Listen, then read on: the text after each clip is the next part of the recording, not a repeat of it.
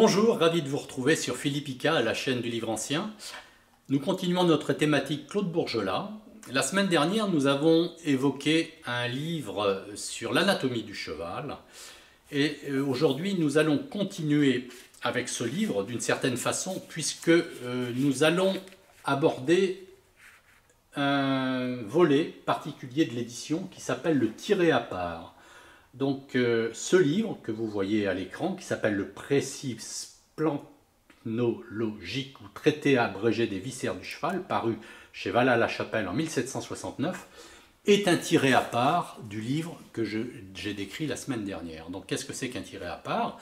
Eh bien dans ce livre, il y a eu une partie qui a eu un tel succès, en l'occurrence celle-ci, qu'elle a justifié l'apparition d'une petite partie du livre. C'est-à-dire qu'on a pris quelques chapitres de ce livre sur ce thème euh, des viscères du, cheval et on les a édités indépendamment euh, du reste. Donc ça, ça s'appelle un tiré à part. c'est une technique qui aura beaucoup lieu, hum, notamment sur les écrits scientifiques, durant tout le 19e. En revanche, au 18e, les tirés à part sont quand même plutôt rares. C'est une technique qui commence un petit peu à, voir le jour.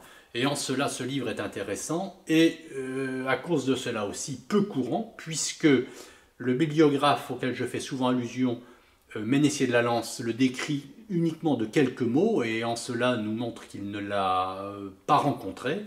Et tous les bibliographes de Bourgelat ben, n'en parlent pas. Ils ne l'ont pas vu et donc ce qui prouve que ce livre est réellement rare. Si vous êtes intéressé, pour en savoir davantage sur cet ouvrage, eh bien n'hésitez pas à me contacter par téléphone ou par email. Je suis à votre disposition et je vous dis à la semaine prochaine. Au revoir.